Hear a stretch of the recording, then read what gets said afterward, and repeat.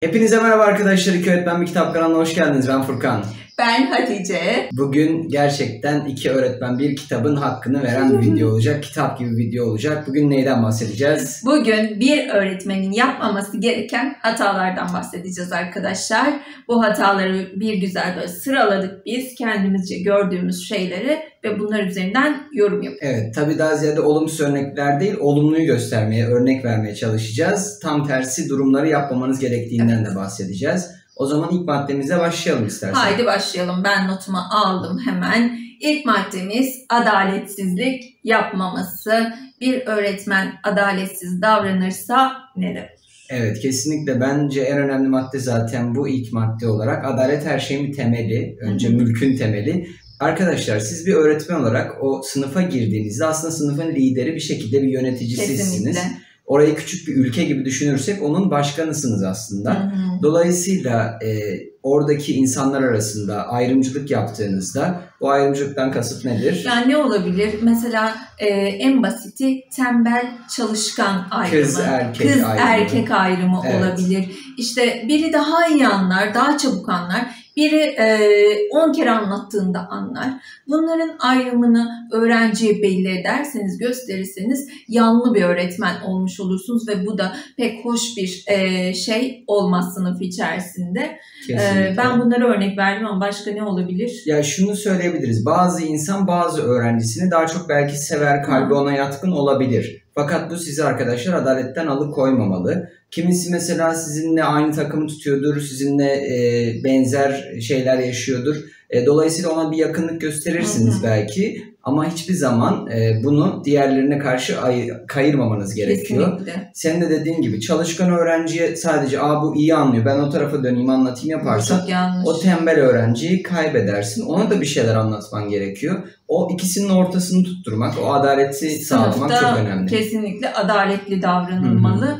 Ee, bir ayrım gözetilmemeli e, öğrenciler arasında ve bu ayrımı da hissettirilmemeli. Yani bu şekilde davranılmamalı kesinlikle. Bu çok yanlış bir şey. Tabii evet. bazı şunu da söylemek lazım ayrımdan kasıt bazı öğrenciler biliyorsun pozitif ayrımcılığa e, şey yapılmalı. Hmm. E, yani örneğin bir engeli vardır. Onun e, biraz daha korunması gerekiyordur. Onun diğer arkadaşlarına karşı zorbalığa maruz kalmasın diye korunur. O Ama dediğimiz gibi adaleti sağlamanız çok önemli. Birinci maddemizi bu şekilde özetleyebiliriz. O zaman ikinci maddemize geçelim. Prensiplerinden ödün vermek. Bir öğretmen prensiplerinden ödün veriyorsa çok büyük bir hata yapmış olabilir.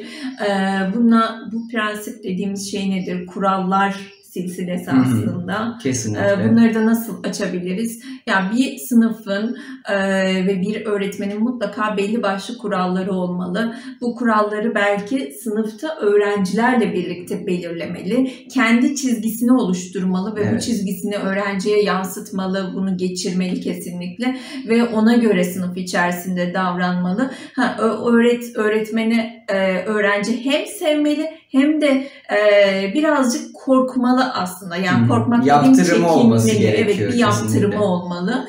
Öğretmen sınıfa geldiğinde ha evet bu öğretmen geliyor. Bu şeylere dikkat ediyor demeli aslında öğrenci. Kesinlikle. Bunun dışında başka ne diyebiliriz? Yani demin de söylediğim gibi nasıl ki biz oranın bir devlet başkanı gibiysek sınıfa girdiğimizde kuralları da biz koyuyoruz. Evet. Fakat öğrencilerle birlikte koyuyoruz. Bu kurallar çok katı olursa, öğrencilerin uyamayacağı şekilde olursa öğrenciler bir süre sonra boş vermeye başlarlar ve sizin o kurduğunuz bütün prensipler çöp olur bir şekilde. Evet, evet. Fakat öğrenciyle birlikte e, kurduğunuz ve yönettiğiniz bakın arkadaşlar işte daha uslu bir sınıf, daha düzenli bir sınıf daha faydalı olacaktır. Hepimiz için daha iyi olacaktır şeklinde. Ben mesela şunu yapardım. Hı. Çocuklar derdim ilk dersten hadi istediğiniz kadar gürültü çıkartın. Hepsi bir yandan bağırış çağırış. Sonra derdim böyle bir ortamda bir şeyler anlatıyormuş gibi yapardım. Ve sessiz bir ortam. Hangisi sizce daha iyi? Ya çocuklar bunu sezerdi. Evet, uslu olmak ve sessiz olmak bizim Evet. için daha iyi. Dolayısıyla o kuralı daha ilk dersten birlikte belirler ve buna saygı gösterirdik. E, bu anlamda şu da çok önemli. Yazılı olması lazım belki bu Evet. kuralların. Sınıfın bir yerinde asılması Hı hı. gerekiyor ve olumlu dönütler olması gerekiyor. Aynen. Bir Yani rehber öğretmeniyseniz Kesinlikle. onları rehberlik dersinde yazdırıp e, öğrenciyle birlikte, öğrencilerle birlikte kararlaştırıp e, panoya asılabilir mesela. Yani mesela işte e, çöpü yere atmadan ziyade çöplerimizi çöp kutusuna atalım gibi olumlu uyarıcılarla birlikte evet, evet. bir kurallar silsilemiz olması gerekiyor. Bu artı eksi listeleri de öyle, Hı-hı. bu yoklama da öyle. Yani hepsi düzenli sistemli evet, gitmeli. sistemli yani bir öğretmen mesela ona güzel değindi. Bir öğretmen bir hafta ödevi kontrol ediyor, iki hafta ödevi verdiğinde yani ödev verdiğinde iki hafta boyunca kontrol etmiyorsa bu büyük bir problem. Kesinlikle. Ee, bir ödev sistemi oluşturduysanız mutlaka e, bu size zaman kaybettirmez arkadaşlar. Sınıfa girdiğinizde e, ödev varsa eğer hemen çıkartırsınız ödev listenizi. Öğrencilerden de onun çıkartmasını beklersiniz ve 5 dakikada olsa isterse 10 dakika olsun o ödevi kontrol edersiniz. E, bu da e, öğrenci tarafından anlaşılır ki evet bu öğretmenimiz ödeve çok dikkat ediyor. Evet. Ben ödevi yapmalıyım e, anlayışını doğurur hı ve bunu sistemli bir şekilde devam ettirmelisiniz ki e, bir düzen oluşsun, bir kural oluşsun. E, o da çok önemli bir şey bence. Doğru. O zaman diğer maddeye geçelim. geçelim. Evet, e, sınıfta bencil davranmamalı bir öğretmen arkadaşlar. Bencillikten kastımız ne olabilir? Şunu söylemek istiyoruz. Şimdi öğretmenlik mesleği, evet insanlar anlatmayı sevdiği için bu mesleği tercih ediyorlar. Ve e, o 40 dakika boyunca bazen sazı eline alıp tamamen kendileri o e, dersin akışına kendilerini kaptırıyorlar.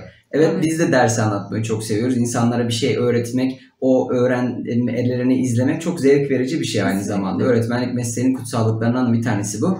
Fakat biz orada yalnız değiliz. Bu bir tek kişilik stand-up gösterisi Aynen değil. Öyle. Dolayısıyla bizler e, hem bildiğimizi paylaşacağız ama onlardan da alacağız. Onlardan da öğreneceğimiz evet. çok şey var. Ve birlikte aslında dersi götüreceğiz öğrencimizle birlikte. Etkileşimli gitmeli Kesinlikle. aslında bir ders değil mi? 40 dakika boyunca e, bir öğretmen anlatamaz. Hem kendi açısından baktığında bir yorgunluk olur. Hem de gerçekten dediğim gibi e, öğrenciyle tek düze bir ders Kesinlikle. olur. Bu yanlış bir şey öğrenmeyi de aslında güçleştiren bir durum olur. E, etkileşimli bir ders giderse diyaloglar halinde soru cevaplar e, falan daha iyi olur. Ya ki ya konsere bile gittiğinizde arkadaşlar hesap edin. Eğer şarkıcının şarkılarını bilmiyorsanız ona eşlik edemiyorsanız doğru, doğru. bir süre sonra sıkılmaya başlıyorsunuz. Tabii. Fakat işte bildiğiniz şarkılar bazen size atılan küçük böyle e, isminizle hitaplar vesaire bunlar çok hoşunuza gidiyordu. Evet. Kendiniz de öğrencilikten geçtiniz. Belki bu videoyu izliyorsunuz hala öğrencisiniz. Hı hı ileride öğretmenliğe dair de size bir mesaj olsun evet, bu video. Evet. Ve zaten şöyle oluyor değil mi? Ee, bir öğrenciyi ismiyle hitap ettiğinde, seslendiğinde hadi sen de şunu yap ee, hadi sen de şunu söyle. Ha buna cevap verebilir misin falan diye e, sorular yönelttiğinde daha hoşuna gidiyor bence. Kesinlikle. Ve o asla aklından çıkmıyor o öğretmen, o ders, e, o sorduğu soru öğretmenin. Öğren yani öğrencinin aklından çıkmıyor. Biraz uzun cümle kurunca karıştı hatta. Evet diğer Maddeye geçelim. Geçelim. Evet. E, öğretmen kitleye dikkate almadan ders anlatmamalı arkadaşlar. Yani karşısındaki e, kitlenin öğrenci olduğunu aslında eğer bir liseye giriyorsa belli yaş gruplarının ilkokula, ortaokula giriyorsa e, hangi yaş grubunun karşısında olduğuna dikkat etmeli değil mi? Evet evet yani arkadaşlar muhatabınız her şeyden önce bir çocuk. Dolayısıyla ondan bir yetişkinin algısını, bilgisini, ilgisini evet. e, alamazsınız. Beklememek Bunu lazım. beklememek lazım. Kimi sınıf vardır çok iyidir. Hı-hı. Fen lisesi, Anadolu. Lisesi düzeyindedir. Kimi sınıfta e, daha hani nasıl diyeyim stabil, daha vasat, vasatın evet. altı öğrencilerden daha oluşur. Daha durgundur. E, pek bir şey yapılamaz Hı-hı. belki o sınıfla. O sınıfları hani herkesi kendi düzeyine göre konuşmak gerektiğini evet, düşünüyorum ben. E, hani kim nasıl anlıyorsa yani şundan hesap edelim. Mesela Peygamber Efendimiz Hazreti Ebu Bekir'le konuştuğu mevzuyla herhangi bir bedevideki insanla konuştuğu mevzu aynı değildi. Dolayısıyla herkesi alabileceğini yüklemek gerekiyor değerli arkadaşlar. Ve burada e, o öğrenciye görelik ilkesini kaçırmamanız gerekiyor. Sınıfınız iyi ise ekstradan şeyler elbette vermelisiniz. Ama sınıfınız hani daha kötü demeyelim belki ama daha vasatsa o zaman da onlara göre e, bilgiler vermeniz gerekiyor. Onların ilgisini çekerek dersi götürmeniz gerekiyor. Bu arada vasat kelimesi kötü anlamda değil arkadaşlar. Kötü bir anlamı yok vasat yok, kelimesi. Standart. Orta, orta anlama gibi, geliyor. Evet. evet orta anlamına geliyor. Onu da e, hatırlatmak Söylemiş istedim. olalım. Evet. evet. e, devam ediyoruz. Ee, öğretmen trafik polisi gibi giyinmemeli. Bunu da çok düşünerek bulduk. Evet bu madde gerçekten çok önemli. Ne demek istiyoruz? ne demek? Geceliğin yolculuğa çıkmışsınızdır. Trafik polisleri neden fosforlu giyinirler? Böyle sarı rengi çok sevdiklerinden değil, Dikkat dikkat, çekmek için. Yani önce adam o kıyafeti görsün, sonra zaten benim uyarımı görür şeklinde düşünürler. Ama biz trafik polisi değiliz ve dikkatimizi kıyafetimize değil, sözlerimize, dersimize çekmek Peki istiyoruz. hiç mi süslenemez? Ya tabii ki süslüden kasıt şu. Düzenli, tertipli, temiz ve örnek bir vatandaş olarak sen öğrencinin karşısına çıkıyorsun. E, biz buraya tabii ki mesela videoyu çekerken bile pijamalarımızla çıkmıyoruz. Ama e, ne yapıyoruz? Bir e, düzenimiz, sistemimiz var. Bunu yapmamız gerekiyor değerli arkadaşlar. E, eğer kıyafetimiz çok taşlı tuşlu senin tabirinde olursa e, çocuklar sürekli ay hocam ne güzel giymişsiniz bugün der ve sizin anlattıklarınız tamamen çöpe gider. Bazı anılar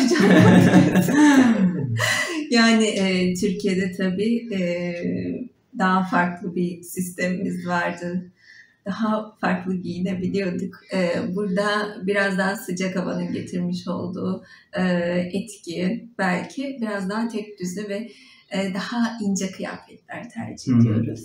Bu arada şey biliyorsun Milli Eğitim Bakanımız da çok e, tartışıldı belki ama Evet, doğru bir karar alarak bu önlük giyme Evet, o çok mevzusunu önemli bir şey zaten. onu da biraz değinelim istersen. Yani önlük e, bence bir öğretmenin giymesi gereken bir şey arkadaşlar. Ben Evet. burada değil tabii. Burada çok sıcak olduğu için gerçekten önlük giyemiyoruz. Hatta önlük giymeyi de özledim aslında. Ama Türkiye'de çalışırken önlüğümü e, çıkartmazdım. Okula gittiğimde direkt ilk işim önlüğümü giymektir. Ya bir öğretmenin bence o çok güzel bir kıyafeti Evet, olduğunu düşünüyorum üniforması ben. Ya, üniforması. En azından o e, hani senin dediğin taşlı tuşlu e, kıyafetleri de biraz olsun Örtülüyor, kapatan, evet. örten bir e, kıyafettir bu. E, her öğretmenin giymesi gereken bir üniforma olduğunu düşünüyorum. Furkan Hoca'nın da dediği gibi aslında e, özellikle biraz kadın öğretmenler olarak biz e, yapıyoruz bu işi. E, yani biraz abartıya kaçabiliyor zaman zaman ama e, okulda olduğumuzu unutmamamız gerekiyor. Okulda olduğumuz gibi giyinmemiz gerekiyor. E, karşımızdaki insanların kim olduğunu bilmek gerekiyor e, kıyafet seçimi yaparken. Abartısız, çok gösterişe kaçmadan temiz, düzenli bir şekilde sınıfa gitmek gerekiyor. Bu da çok önemli bir şey çünkü e, öğrencinin karşısında e, temiz olmak, düzenli olmak öğrenciye iyi bir izlenim bırakıyor. Çünkü Evet. Aa diyor evet bu öğretmen çok özenmiş. E, bugün bu kıyafetiyle gelmiş. Ne kadar güzel giyiniyor. Ne kadar düzgün bir insan e, profili uyanıyor onlar gözünde e, diye düşünüyorum. Tabii kesinlikle. Yani toplu bir yere gidiyorsunuz arkadaşlar her şeyden önce. Burası sosyal bir ortam Evet. ve ona göre öğrenci için de söyleyelim bunu. Ee, öğrenci de olsanız, öğretmen de olsanız ona göre giyinmeniz Kesinlikle. gerekiyor. Evet diğer maddemize geçelim hemen. Bu arada diğer maddemize geçmeden önce bununla alakalı biz ayrı bir videoda yapacağız. Aa, Onu da haberini evet, verelim şimdiden. Öğretmen nasıl giyinmeli diye böyle Tabii, örneklerle e, süslendireceğimiz bir videomuz olacak. Örnekleri verecek misin? Vereceğiz. Peki. O zaman bir öğretmen özgüvensiz davranmamalı diyoruz sınıfta. Çok büyük bir hata eğer böyle bir davranışa girerse. Neden? Çünkü siz arkadaşlar 4 yıl boyunca bir üniversiteye gitmişsiniz. Bu eğitimi almışsınız. Gerek belki yüksek lisans eğitimi almışsınız. Daha sonra belki e, Doktora öğretmenliğe başlamışsınız. belki, Belki, de doktora yapmışsınız evet. Yani belli süreçlerden geçmişsiniz. Artık Milli Eğitim size demiş ki öğretmen olabilirsiniz. Yani bunun hakkında e, bu konu hakkında aklınızda düşen bir şüphe olmamalı diye Evet, düşünüyorum evet. ben. Bazen öğrencilerimiz biliyorsun özür dilerim Hı. sözünü kestim. Çok soruyorlar bize Evet, takipçilerimizden. evet çok sorun Ya ben ders anlatacağım ama ne yapacağımı bilmiyorum, karar veremiyorum vesaire. Bu aslında biraz onların da suçu değil. Evet. Staj dönemleri birazcık bazen işte kötü geçebiliyor. Ders anlatmadan direkt e, staj yapmadan e, atanabilen öğretmenler olabiliyor. Hı. Yani bunları da duyuyoruz. Olabiliyor tabii. Bu çok önemli arkadaşlar. Özellikle stajınızın güzel tamamlanmış olması.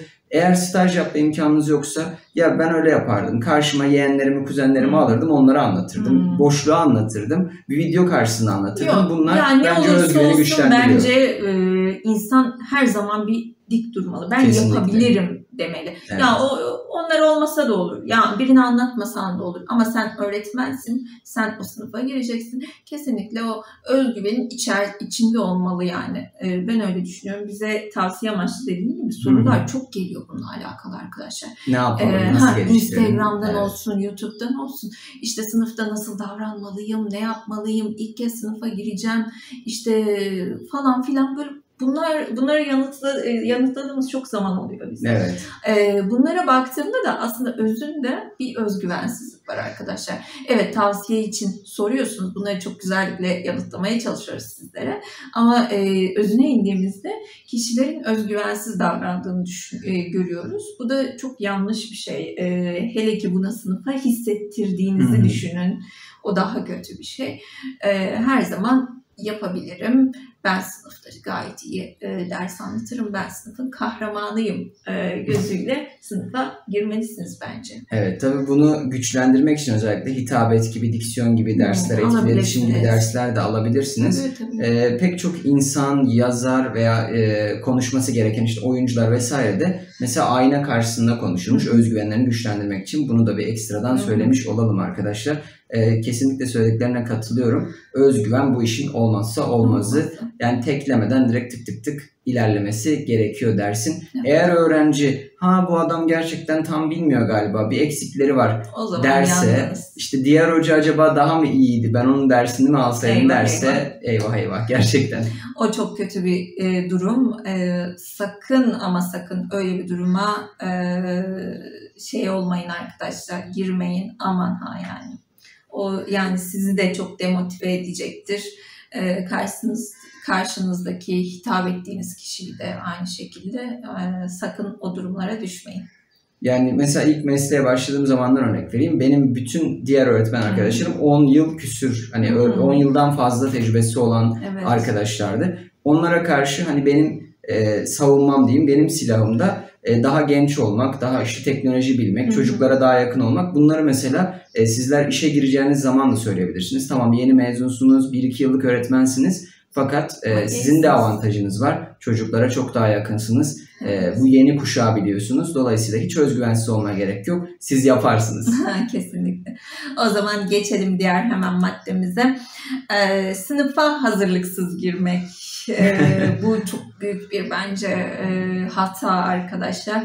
Geçenlerde Instagram'da sordum hatırlıyor musun? Evet evet. Bir ben, anket yapmıştık. Evet. E, ne çıktı? Ya der, şuyduk anketin konusu bahsedelim görmeyenler için. Derse girmeden önce hazırlık yapıyor musunuz? Biz yani belki ironi olduğunu düşünüyorum ben. Çoğu arkadaşımız yok pataküte giriyorum taktik maktik yok bam bam bam dedi. Arkadaşlar yani ben İber Ortaylı bile konferansından yani. önce böyle bir adam ama yine hazırlık yapıyor. Evet. Yani e, Nobel ödüllü işte biliyorsun Aziz Sancar var. Adam hala da çalışmanın Tabii içerisinde. Ki. E, hiçbir zaman yani herhangi bir derse girmeden önce hazırlıksız gitmeyin. Ne yapacağınızı bilin. Öyle gidip birbirinize böyle Nuri Bilge Ceylan filmi gibi bakarsınız. Aynen bu sefer yani hazırlık yapmadığını düşünsene sınıfa girdin. E, bugün ne yapıyoruz çocuklar? e, çocuktan alıyorsun. E, bugün konumuz bu ee, acaba ne anlatsam aklımda 40 tane tilki dolanır. Evet. Ya bu çok kötü bir şey olur bence herhalde. Ya zaten Hiç böyle bir şey yapmadım da. Kötü öğretmen anılarını hatırla. Ne yaparlardı evet, mesela? Doğru. İşte biraz sen oku, biraz sen oku, biraz sen oku. İki bağırır çağırırdı giderdi. Bu e, aslında çok kötü bir şey. E, böyle olmamamız gerekiyor e, şunun hep hazırlığında... Bu şey herhalde bak hani onu okutuyor, onu okutuyor, onu okutuyor. Bu sefer beyninde bilgileri dolduruyor. ha tamam diye bir iki de kendi cümle kuruyor. Öyle bitiyor. Evet. Aa, yani bak, mantıklı. Biz orada arkadaşlar hem bir senaristiz, hem yönetmeniz, Kesinlikle hem oyuncuyuz. Ya. Yani pek çok şeyi biz yapıyoruz. Dolayısıyla öyle e, doğaçlamayla bir yere kadar gider. Evet. E, kimsenin yeteneği buna tam manasıyla yetmez. Yani o meddahlık e, gerektiren bir şey ki meddahlar bile ha, hazırlık öncesinde. Bile, tabii ki. Evet. Ya bilgi hazırlık önemli. E, en azından e, şöyle bir derse girmedi, e, girmeden önce bir akşamı e, şey yapın yani ne yapacağınızı, o sınıfa girerken neler yapacağınızı, nasıl dikkat çekerim, e, neler yapabilirim, nasıl dikkat çekerim, nasıl Hı-hı. anlatabilirim veya hangi sayfayı işleyeceğinizi veya hangi konuyu işleyeceğinizi şöyle bir bakın arkadaşlar. Evet. E, evet 20 dakika şunu yaparım, 20 dakika şunu yaparım, evet dersi bitiririm şeklinde bir ya yazmasanız dahi kafanızda bir plan yapın. Ya bu da önemli bir şey. Çünkü ilk zamanlar belki insanlar yazıyor ilk tecrübelerinde. E, yazıyor deftere falan. Ben hala yazıyorum gerçi. Ama e, sonradan belki alışkanlık oluyor. Ha kafanda bitirirsin olayı derse o şekilde girersin. Ama hazırlık yapmadan çok kötü bir durum bence. Bilmiyorum. Siz ne yapıyorsunuz? Yorumlarda yazın. Diğer maddeye geçelim mi hemen? Geçelim. Bu son maddemiz arkadaşlar.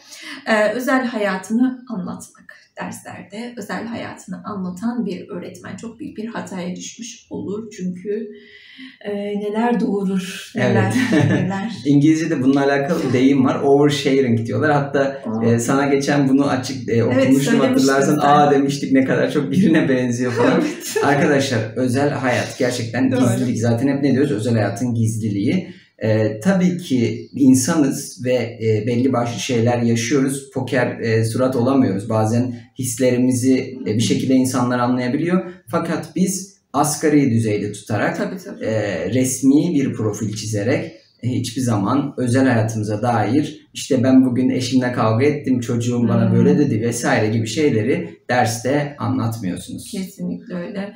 Yani işte yok doğum günüydü, yok bilmem neydi. Bazı öğretmenler yani bunları çok e, üstlerine basa basa hı. anlatıyorlar. Bu yani bana da çok tuhaf gelirdi.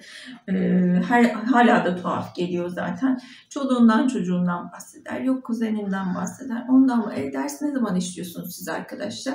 Veya işte siz bunları anlattıktan sonra öğrencinin gözünde siz bir arkadaştan çok farksız oluyorsunuz Evet, aslında. nasıl bir Bu pozisyon da, geçiyor? e, bu da çok önemli. doğru bir şey değil. Ha yani belki e, öğrenciyle içli dışı olmak için biraz bir şeylerden bahsedersin ama yani Bence bu onlar da belli amaçlı olmalı. şeyler, ya. amaç doğrultusunda Ee, belki. Mesela evet. kendi hayatından bir anı anlatırsın Ha. ama bu senin, dersinde Tabii bağlantılı tabii, olduğu bağlantılı bir şey anlatırsın. Örnek veriyorum bir tarihçidir de işte ben İstanbul'da şu noktaya gitmiştim Aynen, diye. aynen. Hani ha hocam da buraya gitmiş. Hani bunu Hı. bile bir e, şeyli kurarsın. Evet, Günlük ha. hayatta ilişkilendirme olarak Ben yaparsın. de yaparken genelde o şekilde Hı kurdum. hı. Şimdi sen de bahsedince hatırladım ben Evet. de. Yani o dediğin önemli gerçekten. Derste bağlantılı bir şekilde evet belki biraz ufak da olsa bahsedersin. Ama ya kimi öğretmenler işte sosyal medyalarına ekliyorlar öğrencileri falan. Hı. Aman bu hatalara düşmeyin arkadaşlar. Yani e, sosyal medyanın sizin özeliniz, kişisel e, yeriniz. E, oraya bir sürü öğrenci bakıyor. Kesinlikle. Ne gözle bakıyorlar ve onları daha sonra okulda gelip nasıl anlatıyorlar bir de onları düşünün sonrasında. O yanlış bir şey. Biz zaten ne yapıyoruz? Kişisel hesabımızda asla öğrenci kabul etmiyoruz. Evet. Ee, sadece bizim blog hesabımızda bizi görüyorlar. Ee, oradan tanıyorlar, e, bakıyorlar. Onu da söyleyelim. Bu arada iki öğretmen bir kitabı siz de takip edebilirsiniz. Evet. Tabii ki orada da hemen sorularınızı cevaplıyoruz. Hayatınıza Aynen dair öyle. şeyler orada da var. Fakat dediğimiz gibi orası bizim e, kurucusu olduğumuz bir sayfamız. Bir sayfamız evet. Bir de şahsi hesabımız var hepinizin olduğu gibi. Onu da kimseye paylaşmıyorsunuz ki benim bir hoca e, öğretmenim üniversiteden hocam vardı. Hiçbir şekilde yani diyordu ki siz beni ekliyorsunuz görüyorum ama ben üniversiteden mezun olunca sizi Hı. kabul edeceğim. Gerçekten de kadın mezuniyet günü bizi kabul etti. yani prensip meselesi Evet, gerçekten çok önemli burada da. Beni de öyle e, tekrardan olurdu. söyleyebiliriz. Ben de kabul etmezdim şahsi hesabı. Sadece bizim blog hesabımızdan işte iki öğretmen bir kitaptan takip eden binlerce belki yüzlerce öğrencimiz var öyle. Ee, oradan takip edebilirsiniz. O kadarı e, yeterlidir diye düşünüyorum. Evet ya bir de bence nickname bulmak da önemli çünkü insanlar Ha. yeni tanıştığı insan direkt Evet, adını soyadını direkt. aratıp bulabiliyorlar. Bizi bulamıyorlar ama. Bizi bulamıyorlar. Hatta Furkan Şişman biliyorsun bir YouTuber aynı zamanda hairstyle böyle saç kuaförüymüş. Ha. Hoca bana öğrencilerim ilk şimdi hocam siz aynı zamanda berber misiniz? ya bu arada adamla da benziyoruz. Ee, kendisine kolaylıklar diliyorum. Ay, Ee, öyle süper. biri varmış. Doğru. Çocuklar da söylerdi bunu. Ee, her neyse dediğimiz gibi arkadaşlar özel hayat çok önemli. Ee, demin belki bahsetmeyi unuttuk. Çocukların da bir de özel hayatı var biliyorsun. Tabii. Buna da dikkat etmek gerekiyor. Onlar da birer birey ve çocuklarda e, çok hastası oldukları için travmatik sonuçlar doğurabileceğimiz cümleler Hmm. belki kurabiliriz. Bundan da kısaca Evet, bahsedelim bundan da istersen. bahsedelim. Yani e, bir sınıfta arkadaşlar annesi olmayan, babası olmayan öğrenciler olabilir.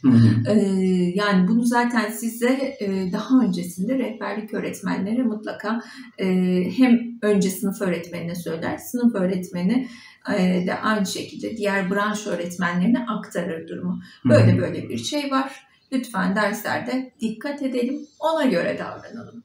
Yani bu e, çok önemli bir husus gerçekten. Üzerine basa basa bir konu işlerken e, o kelimeleri söylememek gerekiyor. Veya işte onun dışında da farklı bir şey olabilir belki. Bir hastalığı olabilir, başka bir şey olabilir.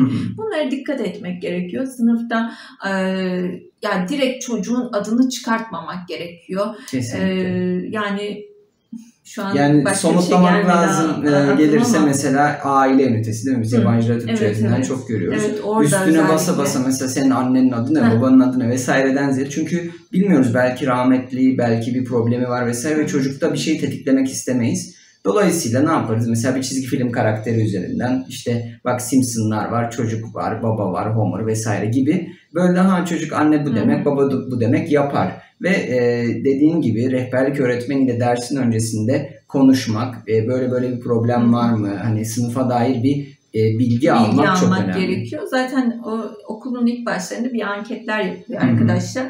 E, bu anketlerde e, e, rehberlik öğretmenleri tarafından sınıf rehber öğretmenlerine paylaşılıyor zaten. Evet. E, kimin nesi var, kimin nesi yok her şeyi biliyorsunuz. E, ve ona göre de şekil al- alıyorsunuz aslında okulla e, birlikte. Ya Twitter'da hala insanlar tartışıyor işte sınıf öğretmenim bana zamanında şunu sormuştu işte baban ne iş yapıyordu bilmem neydi. Bunlar gerçekten özel ve bizi de aslında ilgilendirmeyen, İlgilendirmeyen dersimizle de alakalı Tabii, olmayan tabii. konular. Ee, eskiden belki bir daha e, nasıl diyeyim formasyon bilgisi olmayan insanlar mesleği yapıyorlardı. Fakat günümüzde sizler genç öğretmen olarak ve genç kalmaya, yenilenmeye çalışan öğretmenler olarak neyi nasıl yapmanız gerektiğini bence çok iyi biliyorsunuz. Kesinlikle öyle. Ee, bizim anlatacaklarımız bu kadardı. Bunlar da arkadaşlar öğretmenlerin yapmaması gereken hataları bir başlık altında toplamaya çalıştık sizlere. Belki aklımızdan e, yani gözümüzden kaçan bazı hatalar olmuştur tabii.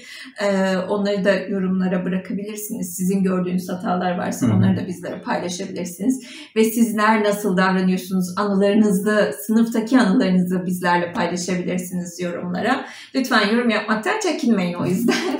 bol bol yorum görmek istiyoruz ve beğeni görmek istiyoruz. Bu videoyu da diğer arkadaşlarınızla paylaşırsanız birçok insana ulaşmış oluruz aynı zamanda. Evet. O zaman Bizi izlediğiniz için çok teşekkür ederiz. Bir başka videomuzda görüşmek üzere. Hoşça Hoşça kalın. kalın.